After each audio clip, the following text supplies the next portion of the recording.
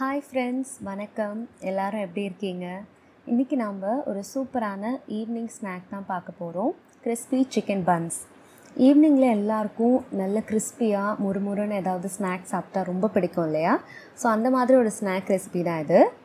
இது பார்த்திங்கன்னா வெளியில் வந்து ஒரு கேஎஃப்சி சிக்கன் மாதிரி நல்ல ஒரு கிறிஸ்பி கோட்டிங் நடுவில் சாஃப்டான பன் அதுக்கு நடுவில் ஜூஸி சிக்கன் ஃபில்லிங் நீங்கள் நம்ம சேனல் இப்போ தான் ஃபர்ஸ்ட் டைம் பார்க்குறீங்கன்னா வீடியோவை தொடர்ந்து கடைசி வரைக்கும் பாருங்கள் உங்களுக்கு இந்த கண்டென்ட் பிடிச்சிருந்துச்சுன்னா மறக்காமல் சப்ஸ்கிரைப் பண்ணுங்கள் இப்போ நான் ஒரு பன்னை வந்து கட் பண்ணி காமிக்கிறேன்.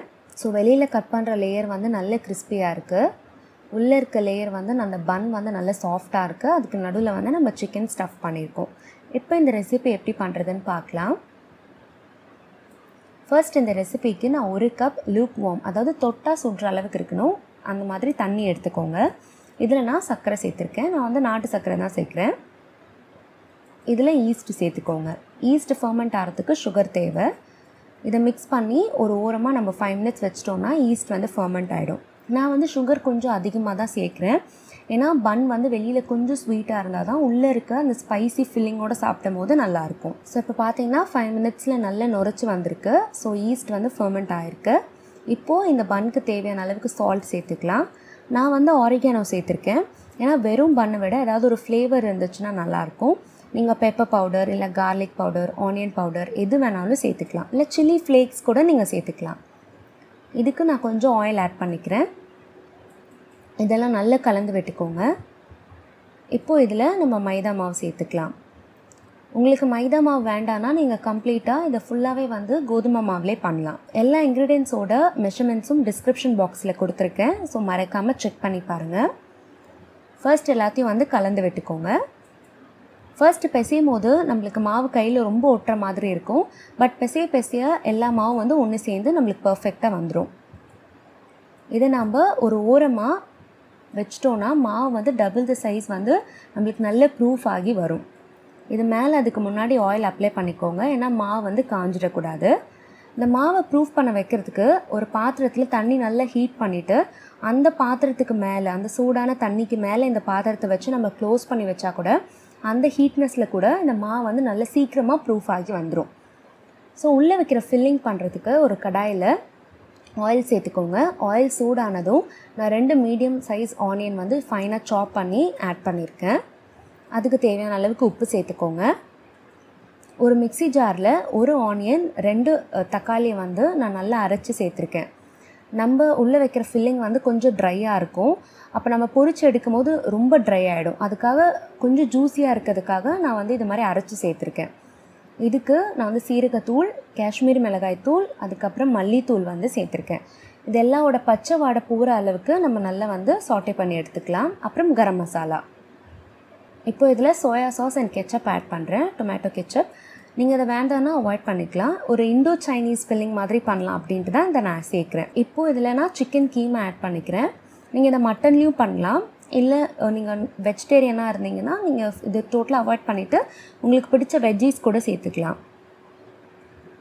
ஸோ நம்ம கீமா ஆல்மோஸ்ட் வந்து குக் ஆகிடுச்சு ஸோ இதை குக் ஆனதுக்கப்புறம் ஆறுறதுக்காக தனியாக எடுத்து வச்சுருங்க. இப்போது நம்ம ப்ரூவ் பண்ண பன் வந்து டபுள் தி சைஸ் ஆயிடுச்சு. ஸோ இப்போ நம்ம நல்ல ஒரு குத்து விட்டுட்டு உள்ளே இருக்க ஏர் பபிள்ஸ்லாம் ரிலீஸ் ஆகட்டும். மாவு வந்து நல்லா பிசைஞ்சிக்கலாம். எனக்கு பார்த்தீங்கன்னா டோட்டலாக வந்து பத்து பால்ஸ் வந்து கிடச்சிது. நம்ம சப்பாத்திக்கெலாம் சின்ன சின்ன பால்ஸ் பண்ணுவோம் இல்லையா? அந்த மாதிரி பத்து கிடச்சிது. இப்போ பன் எப்படி பண்ணுறதுன்னு பார்க்கலாம். நம்ம நார்மலாக சப்பாத்திக்கு மாவு உருட்டுற மாதிரி தான் இதுக்கும் நம்ம உருட்ட போகிறோம் ஆனால் நம்ம வந்து மெலிசாக உருட்டக்கூடாது. அதே மாதிரி ரொம்பவும் வந்து திக்காக இருக்கக்கூடாது. ரொம்ப மெலிசாக இருந்துச்சுன்னா நம்ம உள்ளே ஃபில்லிங் வைக்கும் போது க்ளோஸ் பண்ணும்போது கிழிஞ்சிரும். அதனால் ஓரளவுக்கு கொஞ்சம் திக்காக உருட்டிக்கோங்க.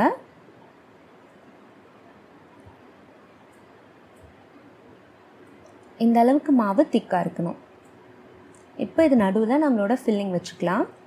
ஃபில்லிங்கும் அதே மாதிரி ரொம்ப அதிகமாக வச்சிடாதீங்க ஏன்னா க்ளோஸ் பண்ணும் போது இல்லை எண்ணெயில் போட்டு பொரிக்கும் போதும் உள்ளே இருக்க ஃபில்லிங் வந்து வெளியில் வந்துடும் இப்போது எல்லா சைட்ஸ்லையும் நம்ம வந்து கொஞ்சம் தண்ணி அப்ளை பண்ணிவிட்டு நம்ம மாவு வந்து க்ளோஸ் பண்ணிடலாம். தண்ணி அப்ளை பண்ணுறனால மாவு வந்து நல்லா ஒட்டிக்கும். நீங்கள் வெறும்னே க்ளோஸ் பண்ணிங்கன்னா எண்ணெயில் போடும் போது மாவு வந்து ரெண்டாக ஓப்பன் ஆகிடும் அப்போ ஃபில்லிங்லாம் எண்ணெய் எண்ணெயில் வந்து ரிலீஸ் ஆக ஆரம்பிச்சிடும். நம்ம சோமாஸ் மடிப்போம் இல்லையா அந்த மாதிரி நல்லா க்ளோஸ் பண்ணிக்கோங்க. சோமாஸ் மடிக்கிற மாதிரியே நீங்கள் பண்ணலாம். உங்களுக்கு எப்படி டிசைன் பிடிச்சிருக்கோ நீங்கள் அந்த மாதிரி கூட எதாவது டிசைன் பண்ணலாம். ஏன்னா ஒரு ஃபோக் வச்சு எல்லா சைட்ஸ்லேயும் வந்து நல்லா ப்ரெஸ் பண்ணிக்கலாம். தேவையில்லாத மாவு வந்து கட் பண்ணி எடுத்துக்கோங்க. அப்படி கட் பண்ண மாவில் எனக்கு எக்ஸ்ட்ரா ஒரு பன்னும் கிடச்சிது. அதை வச்சு அதனால் டோட்டலாக வந்து எனக்கு பதினோரு பன் வந்து கிடச்சிது. ஸோ இப்போ இந்த அவுட்ரு கோட்டிங் எப்படி பண்ணுறதுன்னு பார்க்கலாம். அதுக்கு நான் ஒரு கப்பில் கொஞ்சம் தண்ணியும் கார்ன்ஃப்ளவர் மாவும் வந்து கரைச்சி வச்சுருக்கேன். அப்புறமா இது வந்து பார்த்திங்கன்னா பேங்கோ பிரெட் க்ரம்ஸ் உங்ககிட்ட இந்த பிரெட் க்ரம்ஸ் இல்லைனா நார்மல் பிரெட் க்ரம்ஸ் யூஸ் பண்ணுங்கள் பட் இந்த பிரெட் க்ரம்ஸில் பண்ணோன்னா நம்ம கேஎஃப்சி சிக்கன் மாதிரி இன்னும் கொஞ்சம் வந்து திக்கான லேயர் மாதிரி கிடைக்கும். நல்லா இன்னும் கிறிஸ்பியாக இருக்கும் அதுக்காக.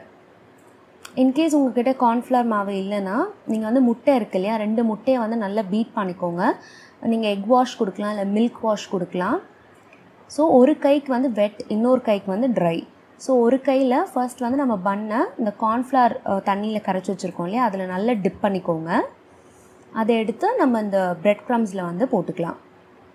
ஸோ இந்த ட்ரை இந்த கையில் வந்து நம்ம ப்ரெட் க்ரம்ஸை மேலே ஃபுல்லாக அப்ளை பண்ணி எல்லா சைடும் வந்து கோட் பண்ணுற மாதிரி பண்ணிக்கலாம். இப்போ நம்ம எண்ணெயில் பொறிச்சு எடுக்கலாம். எண்ணெய் பார்த்திங்கன்னா லோ டு மீடியமில் தான் இருக்கணும். மீடியம் டு ஹையில் வச்சுருந்தோன்னா வெளியில் வந்து சீக்கிரமாக நம்மளுக்கு குக் ஆகிடும் சீக்கிரமாக கருகிறதுக்கும் வாய்ப்பு இருக்குது இது வந்து பன் அதுவும் இல்லாமல் நம்ம கொஞ்சம் திக்காக பண்ணியிருக்கோம் அதனால் உள்ள வரைக்கும் வந்து நல்லா வேகணும். அதனால் முடிஞ்ச அளவுக்கு நீங்கள் லோ டு மீடியம் நீங்கள் லோவில் கூட வச்சு இதை குக் பண்ணலாம். நம்ம குலாப் ஜாமுன்லாம் ஃப்ரை பண்ணுவோம் இல்லையா? ரொம்ப லோ ஃப்ளேமில் வச்சுருப்போம்.